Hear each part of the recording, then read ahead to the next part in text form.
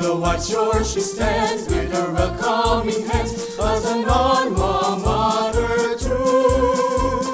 Far and wide she's our greatest pride, ever so loyal will be. So we'll sing it out and we'll raise a shout for our dear CSPC.